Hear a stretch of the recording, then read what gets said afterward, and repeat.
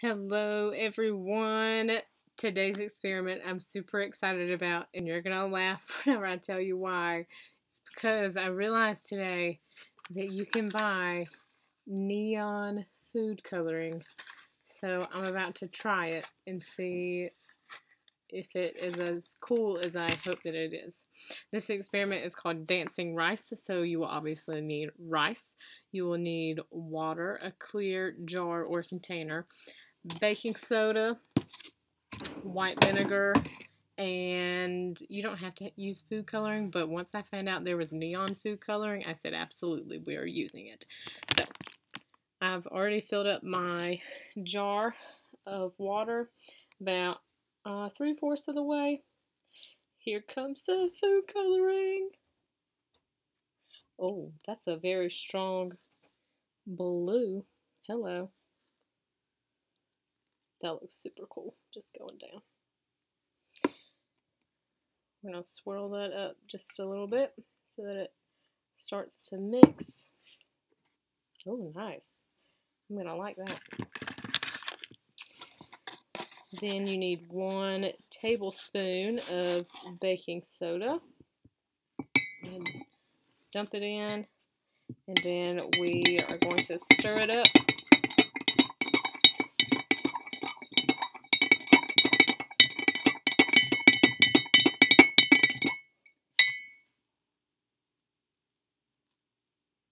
You want to make sure that once you mix it up that none of the baking soda settles and that you've actually mixed it all the way up. Mix it just a little bit more. Okay, now we are going to put in a fourth of a cup of rice. That looked cool even going down. Now, we're going to take our vinegar. You can do this gradually or you can just pour it in like I'm about to do. Ah! Don't explode.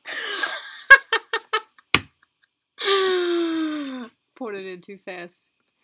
So the reason why it does this is because baking soda and vinegar um, the chemicals that are in them will make everything fizz, kind of like with our volcanoes and stuff like that that we have made. So something similar to what we have been doing, but this will continue happening because of the CO2 that is produced with these two ingredients, just like how you see the rice going.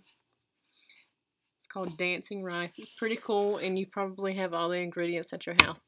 Um, that is your experiment for today. Make sure that you come back tomorrow for our next round of egg roulette. I'll see you guys tomorrow. Bye.